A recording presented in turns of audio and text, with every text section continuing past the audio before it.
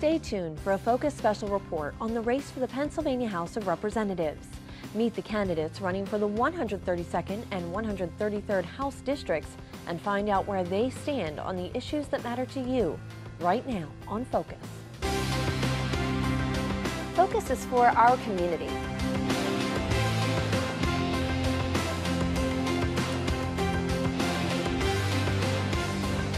Focus showcases the people, the places, and the issues that matter to you. Focus on what matters. You never know what you're going to see when you tune into Focus. Support for Focus is provided by Univest, Banking, Insurance, Investments, Fellowship Community, Continuing Care with Spirit, and by viewers like you. Thank you.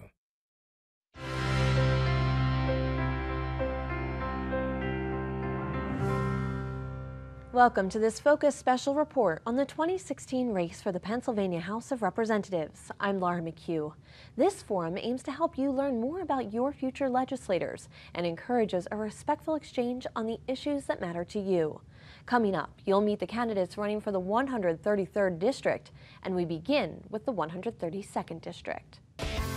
Here's a map of the 132nd Legislative District for the Pennsylvania House of Representatives. The 132nd Legislative District covers part of Lehigh County. It includes part of the city of Allentown and part of South Whitehall Township. Running to represent the 132nd District, incumbent Democratic Representative Mike Schlossberg and Republican Ben Long. Thank you both for joining us. Thank you, Laura. Representative Schlossberg, we'll begin with you. Introduce yourselves to our viewers. Sure. And first of all, Laura, thanks to you and everybody at PBS for having us. I'm really excited to have this opportunity. And Ben, it's great to be here with you too. I know there was some confusion about whether or not you were going to be able to make it at the last second, so glad you could come out. Absolutely. For those of you who don't have a chance to know me, my name is Mike Schlossberg. I'm a state representative a husband, a father, and a homeowner in the city of Allentown. I'm running for re-election because I'm proud of my record, proud of the fact that I've worked tirelessly to bring dollars home to our community schools and to use that money to hold the line on property taxes. Proud of my record in using my own struggles with mental illness to help fight the stigma that surrounds mental illness, depression, anxiety, addiction, things like that, and to pass meaningful legislation that's helped people who have been victims of domestic violence, to protect young children, and to help rape victims better escape their abusers. I am not an ideologue. I am a compromise and relationship-driven legislator. I'm somebody who focuses on building the right relationships to get results and to bring money, jobs, and real legislation home to the 132nd District. If that's what you're looking for, then I hope to earn your vote again. Thank you, Mike. Ben, would you yeah, introduce, yeah, thank introduce you, Laura. yourself yeah, thank voters. you, Laura, and PBS 39, and, and for Mike for being here to discuss the issues. Uh, my name is Ben Long. I'm running for state representative here in the 132nd District.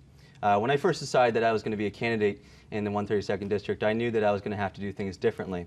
Uh, I knew that I was going to have to go to places and talk to people that normally our politicians on both sides of the aisle uh, don't typically go to or, or, or, talk to. And so I have taken upon myself to knock on 13,000 doors within our district. I've met with community leaders, crime watch groups, unions, just about anybody that I need to talk to to ensure that my message is heard. I look forward to uh, this forum today to discuss my vision for a better community a community uh, in which is free of, of ghost voting and pay-to-play corrupt politics. Um, I believe uh, that the greatest power lies within the individual and in the family, and we will be most successful when we work to uh, provide family-sustaining jobs um, by working to empower the private sector. So thank you, and I look forward to this forum today. Ben, we'll begin with the first question for you. What do you believe is the number one issue facing the community you're asking to serve, and how do you propose to address it? Uh, absolutely. Uh, there's a couple things, uh, but first off, I think there's a there's a lack of integrity within our political system. Um, as I've talked with folks in the district, they they're disenfranchised by by our politicians. They feel uh, abandoned um, by the way things have gone, the dysfunction that has been created. And uh, I'm a fresh face. You know, I'm I, I am somebody uh, with not much to lose, and I have, uh, I have been willing to say what is true and what is right, and uh, that's what I'm going to continue to do and, and to work hard um, for the people of this district. Uh, you know, I'm a fighter. I always have been. I always will be. And uh, this isn't about what's right for the Democratic Party, the Republican Party, uh, but this is most certainly what's right for the people of this district. Um, so working to bring integrity back into our system is something that I'm absolutely going to be able to do. I'm not part of the good old boys and not a part of the establishment. Um, I'm somebody uh, from this area who grew up here working to make a difference. Representative Schlossberg, what is the number one issue facing our community and how do you propose to address it? Well, that's an easy one. Number one issue facing the people of the 132nd District is increasing state investment in education and using that money to hold the line on property taxes. The state of Pennsylvania ranks 46 in the nation in terms of overall support for our schools. We rank 50th in terms of ed, in terms of equity. That means that the difference between the richest school district and the poorest school district is massive, and that disproportionately hurts the kids in school districts like Allentown, but also in fast-growing school districts like Parkland. That's number one. Number two, we have to stop our obsession with standardized testing. As any parent or any teacher can tell you, every second that we spend working on a standardized test takes away from real instruction time. And number three, we have to increase children's access to early childhood education. One out of every six students in the city in the Lehigh Valley have access to high quality early childhood education. That's even worse in the city of Allentown, and there's nothing more important for a kid's academic career than getting them into a good school. That's why I've tried to advocate for new forms of funding for early childhood ed. Go ahead. Uh, I, you know, I, I, just want to respond uh, and, and, say that uh, in this country and in the Commonwealth of Pennsylvania specifically, we have invested more money in education every single year. Yes, through the Corbett administration and now through the Wolf administration. So it's a fallacy that has been promoted. One thing that we can work on for sure is in, in terms of uh, fairly distributing our funding, um, which is something that was passed by the legislature to um, a, fair, a, fair, funding formula, which was vetoed by the governor when he vetoed, vetoed the fiscal code. Um, that's something that we can do to ensure that per student, every student, whether they're in an urban school district or a suburban school district, are getting adequate funding. Um, Another thing that I wanted to mention that Representative Schlossberg fails to talk about is how he's going to pay for some of these programs. How are you going to pay for uh, early childhood uh, intervention, which is something that obviously ultimately everybody would want, but we have a limited uh, way in which we can pay for things. Uh, there's only so many tax dollars to go around, and currently property tax owners are feeling the pinch more and more every single year with school districts having to raise taxes because of the failure of the state legislature to reform issues such as pension, which is causing um, school districts to be handcuffed in terms of what they're able to, to do. Um, so again, I just wanted to clarify a few, a few points there. Okay. How would you well, propose to fund that? In, in, all fairness, Ben, I mean, you're new to the community, so you probably aren't familiar with what happened a few years ago. Governor Corbett cut funding Allentown, you know, you can laugh as much as you want, but I don't think 400 teachers getting laid off in the city of Allentown and 100 in Parkland School District is funny. This is a real issue. This hurt our property values. This hurt our children. This hurt our property taxes. Now, again, of the two of us, I'm the only one up here who actually pays property taxes. Property taxes in the city of Allentown, in the Allentown School District, went up 20 percent over a four-year period as a direct result of Corbett funding cuts. Now you can have a conversation, of, and again, you keep laughing, and that's fine. Because you're, but you're, it's, you're, you're ben, telling lies. You're telling lies to the ben, people of ben, this district. Can, can, I just finish yeah, my sentence? You can Thanks. finish your sentence. And then, I, uh, then we're going to hear a response. I'd be more than happy to. The only way you reduce property taxes in the long run is by increasing the state share of education spending. Now, depending on how you actually look at the numbers, you wind up being in a situation where the Allentown School District has had massive staff layoffs as a direct result of the state's lack of ability to fund education. That, in turn, resulted in massive property tax hikes in Allentown. And again, I'm a property tax owner. I own a home on, with my wife on 19th Street. I felt that pinch along with every single property owner in Allentown. First, first of all, first of all, Mike, um, it's unfair to say that I'm not from this community. Last I checked, you were born and raised in New Jersey. When did you move into the 132nd district? I have been living, first of all, you know how the districts are carved up. You know that the districts are extremely gerrymandered. I grew up in South Whitehall Township. My family is from the west end of Allentown. My mom grew up on 19th Street, as a matter of fact, 19th and Highland, up mm -hmm. the mm-hmm. street from where you live. Oh, cool. So I, I am from this area. I grew up in this area. Uh, I, I know what this, what this community is facing. And, and so to, to tell, that, tell, tell a lie that I am not from this community when I have lived here my entire life is, is something that you need to, to get off of. As far as me not being a property tax owner at this point, yes, I'm not a property tax owner, but I'd like to be at some point. We need to increase the accessibility for folks to be homeowners in the city of Allentown. There was a point one time at one time in the city where homeownership was up about 70%. We're now down to 15 to 20% in certain parts of the city. Mm -hmm. That's never good. You don't have a tax base to fund the schools. You don't have uh, a structure and, and, and, and uh, a continual uh, stability within the city. And so uh, those are just a few things that I, that I wanted to point out. Okay. So i am from this area. I grew up here. I am invested in this community. My sister's a principal in Allentown School District. Um, my father's on a school board in Par- at Parkland. Um, my mom is a retired school teacher. I am invested in this community, Michael, and I think that's unfair of you to state that I'm not. I'd like to move on. I'd like to talk about um, dovetailing on the topic of education, some of the safety issues that we've seen in your district, uh, which includes a large portion of the city of Allentown. There have been multiple incidents of students getting involved in altercations with police and with each other. And I want to know from you. What can be done, if anything, from a policy point of view to better take care of these issues and better take care of the students who are attending the districts in your school? Well, two things. First, and first of all. I'm sorry, but I do have to respond to that last statement you made. You are from the community. There's no doubt about that. But I've lived in the 132nd district in the city of Allentown since 2001. Let's move on and answer this question. Okay, no problem.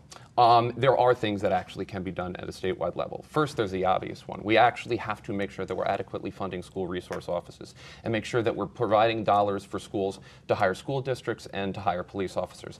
That's number one. Now, that's the immediate thing. Number two is the long term. You can't have safe, safe schools if you don't have safe communities, if you're not adequately providing for real employment, adequately providing for a real education. A big part of the reason we have safety issues, the ones that we do have in the city of Allentown, is because we have class sizes that break 30 sometimes. You can't actually have safe schools unless you have safe classrooms with adequate staffing to teacher ratios.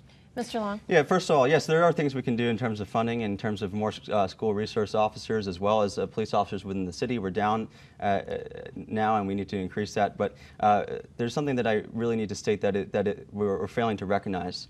Um, the way I was raised is you respect authority, period, and that includes teachers, that includes law enforcement. And we need to, as leaders within the community, show our support for law enforcement. As you mentioned, there's been some altercations between students and law enforcement, which is unthinkable in my mind. And so I stand in support of our law enforcement. I stand in support in the tough job that they have to do. And ultimately, change is going to have to start at home. And that's, that's where respect is learned. That's where, um, that's where ultimately we're going to have to, uh, the greatest change is going to have to lie. So we're almost out of time, and I wanted That to was save some remarks. Jeez. I wanted to save you each about up to a minute for closing remarks. Representative Schlossberg, we'll begin with you. Well, thank you very much, Laura. Again, thanks to you and thanks to PBS. For those of you who are watching at home, I think it's pretty clear that there are real differences between the candidates. You have somebody with experience, with long term community roots, somebody with a record of success, somebody who's worked in the private and public sector to get things done. I think that person is me. I'm proud of my record, proud of what I've done over the past four years, and I hope to earn your vote once again. Thank you. Mr. Long. Yes, thank you, thank you, Laura, and thank you to Mike. Um, you know, what I, what I wanted to state is I think it's pretty clear that we have a, a choice, and it's, it's much bigger than a choice between a Republican and a Democrat. Um, what we have here is a choice between uh, are the people comfortable in this district with the likes of Kathleen Kane, Rob McCord, and Ed Pawlowski? If so, then Mike Schlossberg's your guy. If you're comfortable with the establishment and status quo, then Mike Schlossberg's your guy. Are you better off now than you were four years ago? That's a question you have to ask yourself. But if you want somebody who's a fresh face, who's going to fight for you and fight on your behalf, then I'm your guy. I'm going to lay it all on the line to do what is right for the people of this district. I'm a fighter. I always have been. I always will be. I'm not interested in the status or the label. What I want to do is go, get to work, and get things done and return integrity back into our political system. And so I hope that on Tuesday, November 8th, I have earned the vote of both Republicans and Democrats and everybody in between. Uh, so thank you, Laura, and I thank you for hosting this forum today. Ben Long, Mike Schlossberg, thank you so much for joining us. Thank you. Coming up next, we'll meet the candidates in the race for the 133rd Pennsylvania House District. Here's a map of the 133rd Legislative District for the Pennsylvania House of Representatives. The 133rd Legislative District covers part of Lehigh County. It includes part of the city of Bethlehem, Hanover Township, Salisbury Township, and Whitehall Township, as well as the boroughs of Catasauqua, Coplay, and Fountain Hill. And running to represent the 133rd District, Democrat and incumbent Representative Daniel McNeil and Republican David Maloney. Thank you both for joining us. Representative McNeil will begin with you and an introductory statement. Oh, we're starting now? Thank you. My name's Dan McNeil, and I represent the 133rd District. Uh, This will be my third term running for the district. Uh, My main concern is I love working for my constituents, my number, my number one reason to run. Number two are my other priorities, which would be the heroin opidem, uh, uh, uh, oh, excuse me, the the opium problem in this state, education, good wages, and uh, uh, what was the, I forgot the other one, which it was, but those are my four. And if you like me, look at my voting record. I don't think we'll be hammering each other in the election since our third time with each other. And I respect Mr. Maloney, and I hope he respects me the same way. And whoever wins in November, God bless him, and here we go. Let's have our debate. We'll discuss those issues in more depth coming up after we hear from David Maloney. Hi. Um, in the last election, I, I came close. I got uh, about 45%. I think people see that I'm sincere. Um, Mr. McNeil is also uh, sincere. Representative McNeil, sorry, is also sincere in his desire to, to represent the district. Um, I think that we have some differences, uh, and, and we'll be talking about those today, I'm sure, somewhere down the line. Um, my goal is to represent the people of the district uh, as individuals and to work to uh, support them in every way possible. I want to begin with one of the things that you brought up, Representative McNeil, and the what many are calling an epidemic in our region, uh, opioid abuse um, and prescription painkiller abuse, which is leading to the use of heroin in our community. Um, that has been an issue for you that you've been working on over the past several months. What can be done at a policy level? And I'll pose the same question to you, Mr. Maloney. We'll begin with you, Representative McNeil. Oh, okay. What can be done as, at a policy level? Well, first of all, it's money. And there's no money in Harrisburg. I mean, in this last budget, we asked for 34 million and we wound up getting 15. Uh, halfway houses, we have, a, we, we have to get these kids into a halfway house. They do not belong in jail. This is a sickness. Another one of my priorities is these pharmaceutical companies have to be slashed. They're, they're, they're giving prescriptions out that are 30 days prescription of a fentanyl, Oxycontin, Valium, whatever they may be, where it's not required. I, I'm not saying everybody should not get a prescription. What I'm saying is when they leave the hospital, try to get them a seven day prescription, and if they really need the pill, let the doctor rewrite the prescription for them. Another big problem with heroin, it's cheap. You can buy a bag of heroin for $8. And th- that's the sad part about it because what happens is they're buying eight, five, six bags of he- heroin for 50 bucks. Kids with no jobs are selling three, four bags to get it used for free. Number one, fentanyl, stronger than heroin.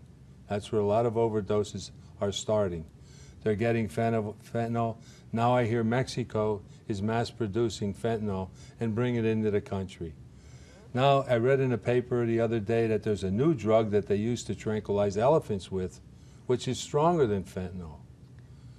And you have a lot of kids that are, that are using these drugs. I, I, I just don't understand it. I had my first town hall meeting. I thought I'd get about 50 people there. I got over 200 people at my first meeting. And the thing that woke me up because nobody was educated about it because nobody would talk about it. In other words, not in my house is not going to happen, but it is happening in the houses.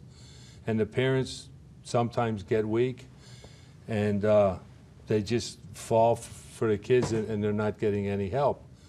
What I suggested is they go in, they go, they go and get help for three days, and then when they come out, they send the kids home, which is very wrong. What I'd like to do is set up halfway houses where they can come in and relate to people that recovered from the drug, that they have somebody to relate to, and then move them on. But the thing is, that's all fine and good, but the person that has the problem has to want to correct themselves too. David Maloney, how would you address this issue, which is um, becoming a major issue not only in your district but statewide? Well, there's, there's two aspects to it. Um, one is treatment, and one is figuring out how to, how to make it so that these synthetic medications aren't put in heroin to begin with. Uh, I mean, one of the things, they, they put the fentanyl and this new drug into the heroin to make them significantly more addictive in order to make it so that they get addicted to heroin and then keep on taking it. Um, the, the, one of the reasons why people move to heroin is because uh, they say they have pain. And then, because I, I work with pain a lot, and I see how uh, prescriptions are used and misused and such like that.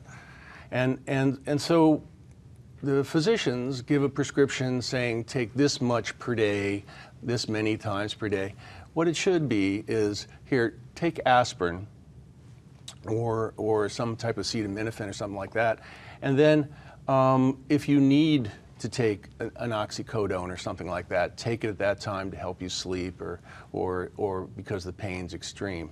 Um, they, they, they have to learn to work without the addictive medications right away, and then also educate the patient that this is an addictive substance, and what we need to do is to um, is to reduce the amount of times you take it. And so the, I think people are smart enough to pick that up. Uh, so that would be one aspect that probably isn't addressed very much. An, another aspect is, is the treatment. Um, the, the treatment has to be uh, done with halfway houses and, and such like that. But at the same time, we, we have to be able to steer the people away. We're talking kids because a lot of kids get injuries and, and, and they tend to be more malleable. And so what happens is they tend to get addicted to things faster. And so we need to, we need to work with them and educate them as to what's going on. I'd like to switch gears now and talk a little bit more about job creation and economic development. And we'll begin with you, Mr. Maloney. What can be done on the statewide level to promote economic development in our region? Well, government doesn't create jobs. Government allows jobs to happen, and the best way to do that is by reducing hyper-regulation, which I think occurs a lot in the state. And so we need to work with regulations uh, to make it so that so that uh, it's it's a reasonable process to bring uh, manufacturers back into the area. It's interesting. There's there's business cycles. We had a huge cycle with Bethlehem Steel and and all and all the all the uh, labor that was involved with that. The labor didn't require levels of education so much in, in, in most of it. And so what happened is that went to other countries. And now we're looking at it coming back, but we're lo- also looking at, for the ones that are coming back, that you need more education. So we need to focus on technical education. Everybody talks about college education. We need to focus on technical education to work with these things. Representative McNeil, what can, we, what can be done on the state level in the areas of job creation and economic development? Basically, as far as the state con- is concerned, most of the big companies coming in want tax relief, of course. They ask for the tax, like you have the NIS, you have the CRIS, and all that. But, but other than that, with the state, I don't know if there's that much more they can do. I mean, companies come in like, I can speak about Lehigh Valley. I think right now we're ready for a big boom. Another thing, we have a labor force here that can supply the manpower right now. We don't need foreigners coming in here to build our buildings. We have enough man force in this Lehigh Valley. Look what's happening in Bethlehem. Look what's happening in Allentown. The FedEx building is coming in. We just broke ground for that two weeks ago. That's the largest FedEx building in the whole country. Lehigh Valley right now has not seen the peak of their boom yet. Most companies want to be in the Lehigh Valley because we're, we're within 300 miles of the nation's population. And FedEx is a big truck route company. In fact, they're so animated. I mean, what's coming in, and then once FedEx is established, you're going to see many, many, many more companies coming in here because they'll have accessibility to get their mail out. So you're going to see a lot of companies. And on the books right now, labor has been pretty good. And as far as education, David might be right, but I think I'm a little bit smarter than that. You need apprenticeships. We have our men here that are ready and willing to work and have the qualifications. You can't just bring guys in from out of state to build buildings or somewhere else that have no education. If our labor force, say, has no work for six months, company comes in and says, can you give me 100 men? I can give you 150 qualified men, and we're ready for it. In the area of education, is Pennsylvania adequately funding its public education system? Uh, no. Education is, it's, there's so many aspects of education right now. Education to me is college. Uh, we have uh, at, the community college up there, you can go up there and learn any trade you want. It's not used as good. LCTI should be used dramatically. They, anything you want to be, from a beautician to an astronaut, is there. And I think it should be useful. college, teachers, I don't know about teachers. I think the biggest problem with education right now is the charter school system. First of all, I can tell you for the city of Allentown had to pay $17 million to support the charter schools. Don't get me wrong, I have nothing against charter schools, but anything that affects K through 12 bothers me. If you have a gifted child and there's a charter school for that child, that's fine. But why does big business have to come in, make all this money on charter schools? These kids are going for free, and then they're paying they're paying the owners of the charter school what it costs per student to send to a high school.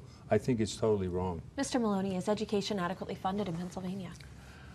I, I think that it is pretty much adequately funded. It's just the funding is, is off kilter. I think uh, charter schools are useful. I think that uh, just as any new business starting up, there's going to be cases where it's abused or, or misused or just not done right. And so as, as we work through all these things, and don't forget, there are also besides besides all the normal business problems that you have with a new with a new function, you also have the antagonistic aspect of it of a lot of the uh, the teacher the teachers unions and such like that being against that, and so that they have to work against that as well. You know that's that's a point, and I think that's important. The thing with the charter schools is that they're able to focus more on, say, a trade school of different kinds or uh, something that kids are particularly good in. Um, as far as generalized schooling, I'm not sure about that, but we also have the Catholic schools and the other kinds of schools as well. I think that uh, they, we should also be looking at some type of voucher system to make it so that the Catholic schools can, can get some money from our system as well. Well, we're nearly out of time. A few seconds, uh, closing remarks from Representative McNeil. Well, we have an election coming up. I hope everybody is comfortable with their votes. I'd appreciate your support, and let's see what happens in November. Mr. Maloney. Well, my goal is to represent the people of the district. And for instance, one of the things that I'd like to see happen is I'd like to see, you know, you get the, the franked mail, the mail that you get from your state representative and says, here's the things I've done for you. It should also say, here's the, here's the things that are coming up. Please contact my office with your input. I think we need more uh, voter and constituent participation in our voting process. And I'm, I'm willing to vote whatever my constituents want, and I, and I think Mr. McNeil would too. However, we, we, have to, we have to gain that understanding through getting out, meeting the people, and also hearing what they have to say by requesting that information. David Maloney, Representative Daniel McNeil, thank you so much for joining us. And thank you for watching. Join us next week to meet more of the candidates in the race for the Pennsylvania State House of Representatives.